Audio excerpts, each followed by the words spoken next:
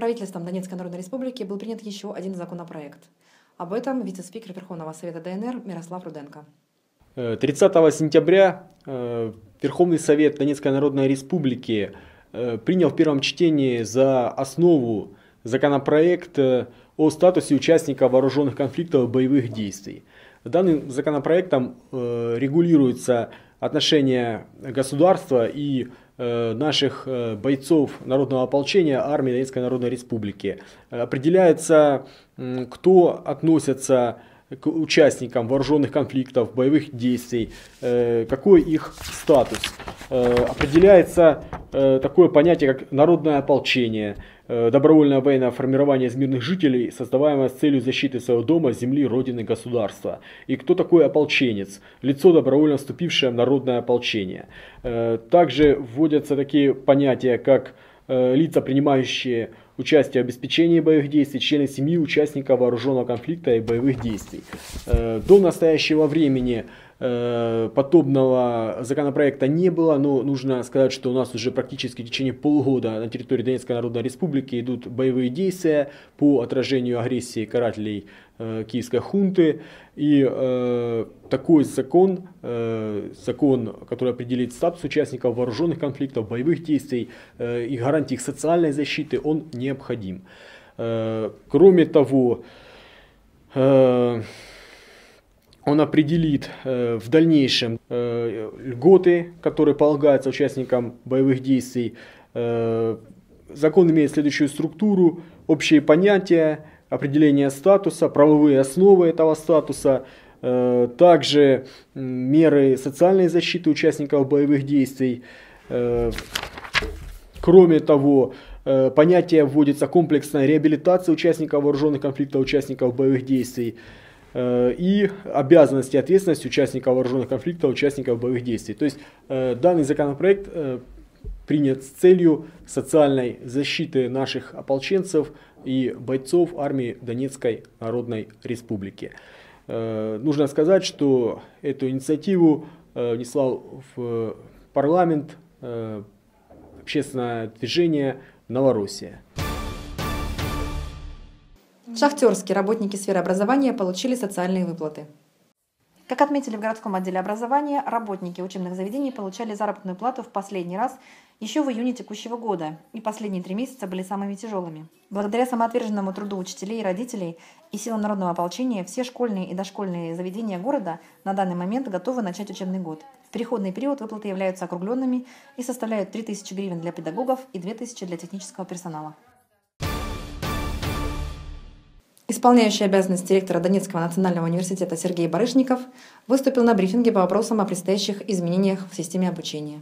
Уважаемые телезрители, граждане Донецкой Народной Республики, наши горячие сторонники и, может быть, еще люди, относящиеся несколько критически или, скажем так, с сомнением к деятельности э, руководства ДНР в тех или иных сферах э, нашей важной всем общественной жизни, в том числе в сфере образования, э, я хочу обратиться к вам с тем достаточно позитивным таким посылом и э, объявить о том, что как мы и планировали в Донецкой Народной Республике, э, ведущий высшее учебное заведение нашей республики, ведущий вуз, Донецкий национальный университет, начал свою учебную деятельность э, сегодня, 1 октября 2014 года, с достаточно активной такой э, явкой э,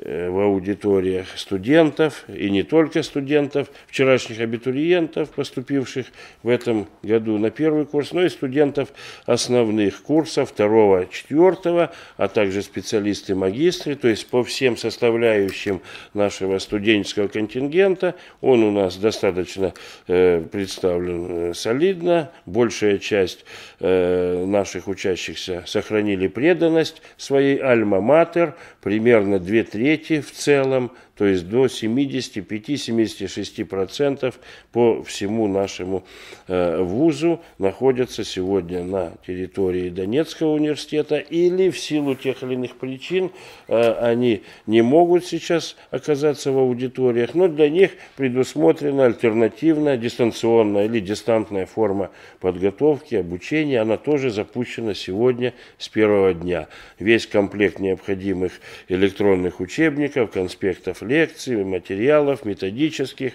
различных планов, рабочих и э, учебных программ по тем или иным дисциплинам университет давно уже имел, поэтому это не проблема, это вопрос, так сказать, был только техники и времени. Время, как говорится, сегодня первый день, ну а технически все достаточно еще ранее было подготовлено, решено и сегодня тоже запущено. Так что с этим э, серьезных каких-то сбоев или какой-то накладки э, нерешенных или узких мест и вопросов у нас нет.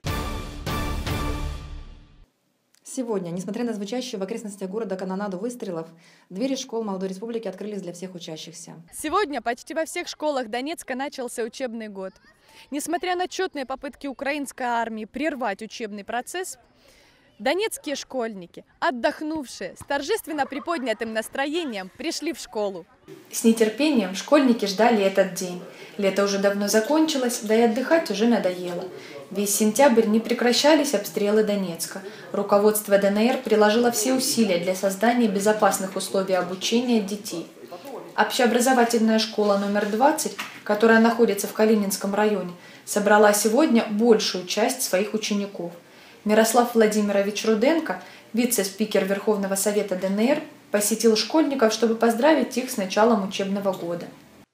Как вы считаете, как начался учебный год?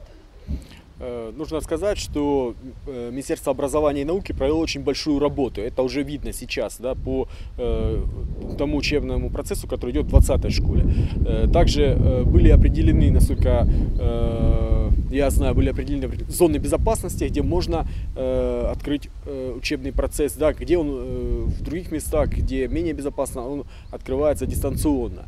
Но, насколько я знаю, учителя получили заработную плату за сентябрь. Здесь сейчас Э, много учеников, э, все полны энергии. И вот, как мне кажется, э, учебный год Донецкой Народной Республики начался и будет успешно развиваться в дальнейшем. То есть можно только поприветствовать те усилия, которые Министерство образования приложило к началу этого процесса. Привет, девчонки! Соскучились за школой? Ой, да, да конечно. конечно. А зачем соскучились больше? С одноклассниками, со школой За учителями, целом, да. за всем. Надоело дома сидеть, хочется поскорее увидеть. Чтобы все было спокойно, мы ходили, чтобы было все как раньше. Весело, здорово. Длинные каникулы были? Ну, они очень длинные, я хотел побольше школы, у меня тут друзья, русский язык, я люблю русский язык. Хотел поучиться, поэтому хотел в школу, в общем. В школе номер 15 один из лидеров общественно-политического движения Евгений Орлов провел открытый урок мужества. Об этом наш корреспондент Оксана Волчонок. Здравствуйте! Сегодня 1 октября 2014 года. Первый звонок прозвучит во всех учебных заведениях, которые находятся вне зоны боевых действий.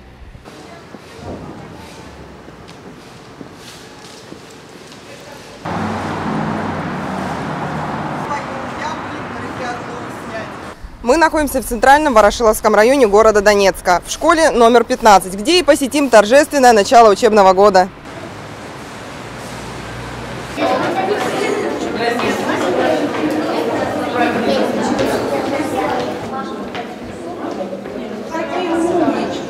По списочному составу у нас 265 учащихся. На данный момент по итогам переклички у нас присутствует более 50% учащихся.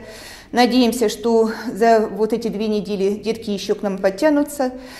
Принципе, мы планируем обучение и дистанционное, это для тех детей, которые не могут сейчас на данный момент приехать, и очное обучение. То есть никто не будет ущемлен, процесс учебный будет продолжаться в полной мере по учебному плану. В первом классе у нас 33 человека списочного состава. На данный момент было около 20 учащихся на перекличке. Сколько придет сегодня, мы посмотрим на первом звонке. Долгое время украинские учебные заведения испытывали дефицит финансирования. В большинстве школ не хватает даже простой оргтехники. Поэтому член ОПД «Новороссия» Орлов Евгений решил помочь школе и преподнес принтер. Первая запоздала линейка проходила в теплой атмосфере напутственных слов директора, трогательных пожеланий гостей. Вас всем поздравить о том, что сегодня начинается учебный год. Первый учебный год в Донецкой Народной Республике. Что я могу сказать? Вот здесь это воплощение всего того, ради чего стоит стремиться жить, ради чего стремиться работать. А, преемственность поколения означает то, что мы сегодня должны заложить фундамент будущего, хорошего, успешного будущего для первоклашек и для тех, кто вскоре выпустится. А, для тех людей, для тех учеников, которые сегодня заканчивают 11 класс, хочу сказать, смело смотрите в будущее. В будущее здесь, в Донецкой Народной Республике. Мы все сделаем для того, чтобы вы не думали о том, что отсюда стоит уехать. Нет, здесь наше будущее. И вы можете смело доверять нашим словам. Это светлое будущее.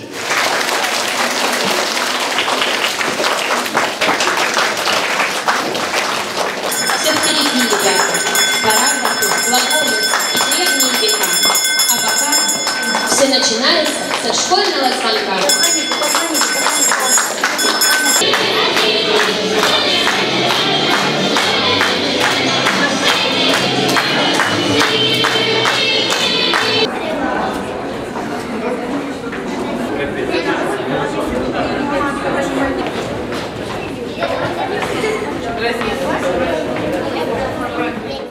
Прозвучал первый звонок, дети спешат по классам, и первым, которым пройдет урок, будет посвящен 145-летию города Донецка. Мы посетим один из открытых уроков.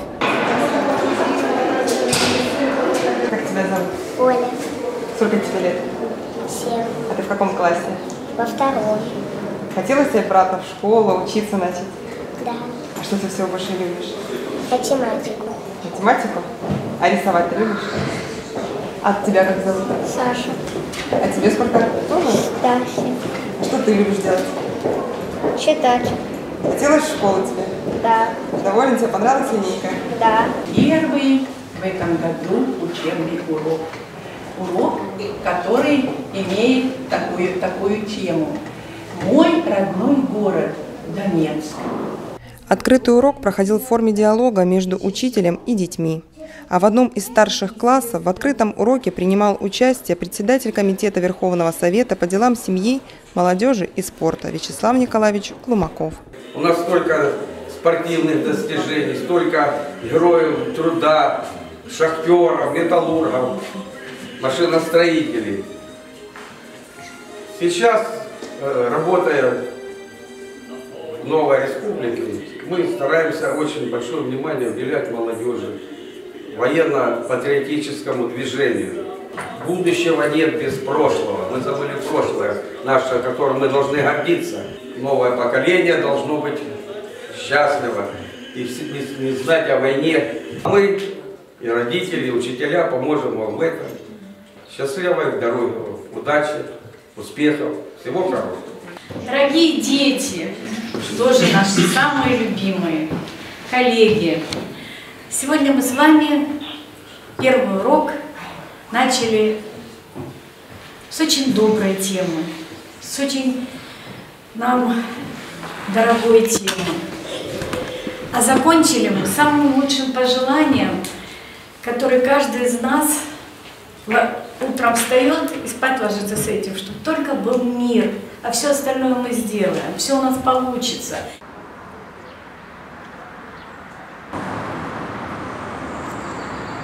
Побывали с вами на первом звонке, который проходил в центральной школе. Хочется верить, что год пройдет мирно и спокойно и, в принципе, без взрывов артиллерийских снарядов. С вами была Оксана Волчонок, Дмитрий Русский, телеканал «Новороссия».